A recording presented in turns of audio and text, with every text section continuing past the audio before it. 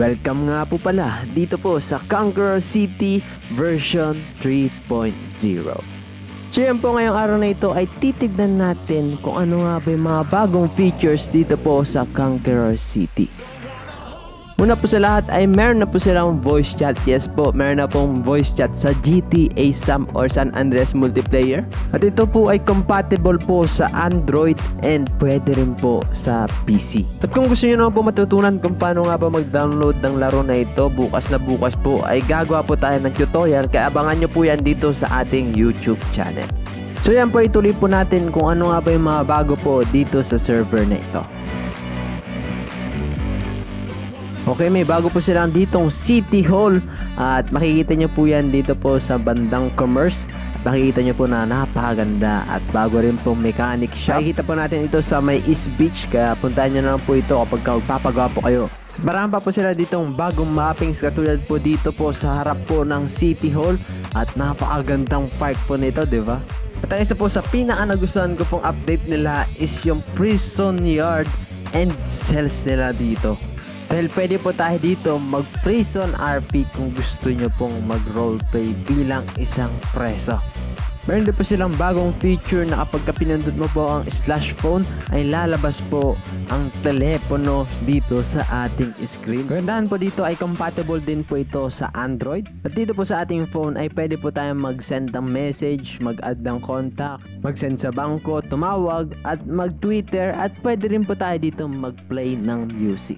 Yan nga, try nga natin itong Twitter. Yan, type tayo. Hello. Yan.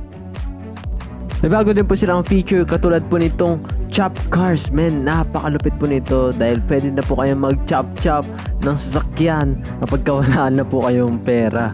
Pero mag-ingat-ingat po kayo dahil kapag ka nag-chop-chop po kayo ng sasakyan ay baka may dumating po agad na pulis dito. At kapag ka may dumating pong pulis ay diretso na po kayo sa ulungan kaya mag-prison RP na po kayo. Kagandahan din po sa server na ito na kapag ka ikaw po ay nag-chat, kapag ka wala pong voice chat ay meron pong animation yung inyong kamay para talagang realistic na nagsasalita ka. Kagandahan din po sa server na ito ay tinanggal na po nila yung name tag upang maiwasan po yung metagaming kaya wala ka na po makikita. Bali tatanungin niyo na lang po yung pangalan ng inyong kausap upang malaman niyo po kung ano po yung kanilang pangalan. May mga bago din po silang jobs dito katulad po nitong Food Panda. Kapag kakain ka naman po, pwede ka pong kumain dito po sa mga vendors. Yan po, pwede kang bumili ng burgers. At napakaganda pa po ng kanyang animation. Oh, grabe. At kung gusto nyo naman pong kainin na yung binili nyo, yan po, slash it lamang po. And eat kung ano po yung binili nyo, yan po, burger. And yan po, may animation pa po yun kapag kakakainin na po natin itong ating binili kanina. At kung inom ka naman po, slash drink lamang po. And yung binili po natin, for example po, gusto nyo pong minom ng tubig, yan po.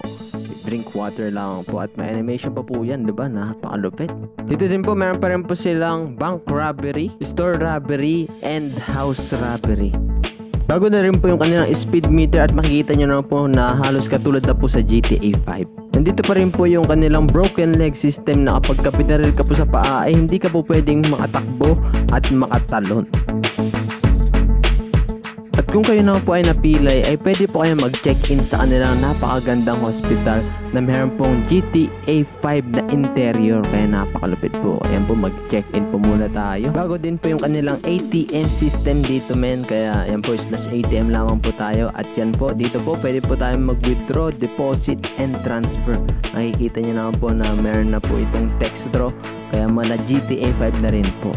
At para naman po mawala yan, slash ATM lang po ulit tayo para po mawala yung text draw. May public garage na rin po dito katulad po sa GTA 5 upang hindi po pakalat-kalat yung mga sasakyan natin at pwede po natin dito i-despawn and i-spawn po natin yung ating mga sasakyan. Marami pa pong features ang server na ito kaya kung gusto nyo pong malaman yan, pumasok po kayo dito po sa Conqueror City Roleplay.